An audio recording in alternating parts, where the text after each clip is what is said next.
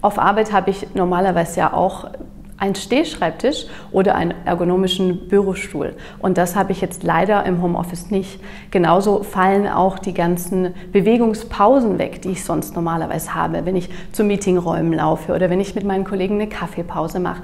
Deswegen sollte man zu Hause einfach auf bestimmte Punkte achten. Zum einen wäre es einmal von der Sitzposition her, die Höhe, wie ich sitze. Und da wäre es am besten, wenn die Tischplattenhöhe auf Ellenbogenhöhe bei mir wäre.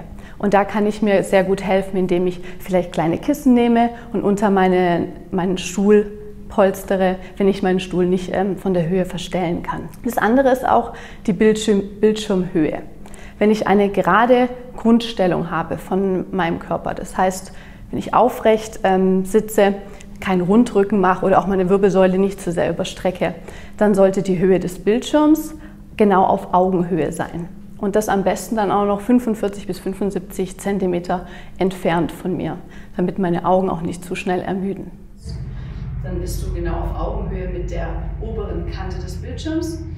Da wäre es jetzt natürlich nützlich, noch eine zweite Tastatur zu haben, weil du so jetzt nicht mehr am Laptop arbeiten kannst. Zu einer ergonomischen Körperhaltung zählt, dass ich mich am besten erstmal vorne auf die Stuhlkante setze, meine Füße, meine Beine hüftbreit aufstelle und die Füße wirklich fest am Boden stehen. Ich sollte vermeiden, meine Beine zu überschlagen oder irgendwie zu überkreuzen. Und dann sollte ich schauen, dass meine, mein Becken, mein Rumpf und mein Kopf in einer Linie stehen, sodass alle Strukturen der Wirbelsäule, heißt die Muskulatur, die Bänder, die Sehnen und auch die Bandscheiben gleichmäßig belastet werden.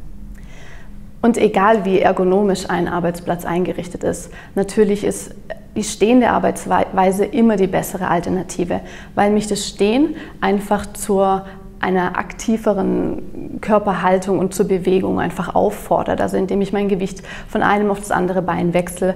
Und ähm, das ist natürlich mehr Muskelaktivität.